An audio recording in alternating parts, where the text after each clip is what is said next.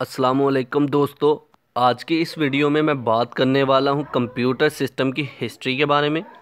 اور ہسٹری میں computer system کی جنریشنز کے بارے میں۔ تو آج کا ہمارا ٹاپک ہے کمپیوٹر کی فرسٹ جنریشن، جس میں ہم بات کریں گے ویکیوم ٹیوبز کے بارے میں۔ تو چلیے شروع کرتے ہیں۔ First generation vacuum tubes, nineteen forty two nineteen fifty six. Computer system کی فرسٹ جنریشن میں ویکیوم ٹیوب کا استعمال کیا جاتا رہا، جو کہ انیس سو چالیس سے لے کر انیس سو چھپن تک استعمال ہونے والے کمپیوٹرز تھے۔ The first computers used vacuum tubes for circuitry and magnetic drums for memory vacuum tubes کا استعمال کیا جاتا رہا پہلے کمپیوٹرز میں، پہلے کمپیوٹر میں ویکیوم ٹیوب کا استعمال کیا گیا۔ سرکٹس کے طور پر اور میموری کے طور پر. And were often enormous taking up entire rooms اور یہ ایسے کمپیوٹرز تھے جن کے لیے بڑے بڑے کمرے درکار تھے، ان کو رکھنے کے لیے زیادہ جگہ کور کرتے تھے، تو وہاں پر جو ہے ویکیوم ٹیوبس کا استعمال کیا جاتا رہا. اس جنریشن کے کمپیوٹرز کیلکولیشن کے لیے ویکیوم ٹیوبس کا استعمال کرتے تھے۔ مطلب کہ ہم جو بھی حساب کتاب جو یوزر اس پر کمپیوٹر پر کرتا، اس کے لیے ویکیوم ٹیوبس کا استعمال کرتے تھے لوگ۔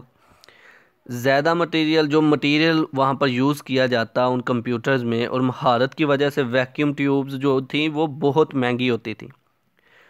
کمپیوٹر سسٹم کے اندر جو ویکیوم ٹیوبز لگانی ہوتی تھیں، وہ بہت ہی مہنگی ہوا کرتی تھی اور یہ اتنی گرم ہو جاتی جب کمپیوٹر سسٹم آن ہوتا تو یہ ساتھ وقت گزرنے کے ساتھ ساتھ گرم ہونا شروع ہو جاتی اور جب یہ اتنی گرم ہو جاتی کہ یہ جل جاتی۔ اس جنریشن کے کمپیوٹر بہت بڑے سائز کے ہوتے تھے ویسے اور ایک کمرہ درکار ہوتا تھا ان کمپیوٹرز کو رکھنے کے لیے۔ اور ان کمپیوٹرز کو رکھنے کے لیے ایئر کنڈیشنز کمرے بنائے جاتے یعنی کہ تاکہ کمپیوٹر اگر زیادہ گرم ہو جائے تو اس کو ٹھنڈک پہنچائی جائے ایئر کنڈیشن اے سی والے کمروں میں اس کو کمپیوٹرز کو رکھا جاتا تاکہ کمپیوٹر کی ہیٹ کی وجہ سے ویکیوم ٹیوبز زیادہ گرم ہونے کی وجہ سے جل نہ جائیں۔ تو اس لیے ان کمپیوٹرز کو ایئر کنڈیشنز کمروں میں رکھا جاتا۔ فرسٹ جنریشن کے کمپیوٹر میں ویکیوم ٹیوبز کا استعمال کیا جاتا رہا۔ اور اگر ہم ڈایاگرام دیکھیں ویکیوم ٹیوبز کی، تو وہ کچھ اس طرح کی ہے۔ یہ ہماری ویکیوم ٹیوبز ہیں، جو کہ فرسٹ جنریشن کے کمپیوٹر سسٹم کے اندر نصب کی جاتی تھی جو کہ زیادہ گرم ہونے کی وجہ سے جل جاتی ہے اور بہت ہی ایکسپینسو ہوا کرتی تھی تو اگر دیکھا جائے تو ویکیوم ٹیوبز کو کچھ اس طرح سے کمپیوٹر سسٹم کے اندر نصب کیا جاتا تھا، اس طرح سے ان کے سرکٹس بنائے جاتے اور اوپر ویکیوم ٹیوبز کو نصب کر دیا جاتا تھا کمپیوٹر سسٹمز میں۔ تو فرسٹ جنریشن کے کمپیوٹر جو بہت ہی امپارٹنٹ جو بہت امپارٹنٹ تھے۔ ان میں سے انائک اور یونی ویک کمپیوٹر شامل ہیں جو کہ سائز میں بہت بڑے تھے۔ تو آج کا ہمارا لیکچر یہیں پہ ختم ہوتا ہے۔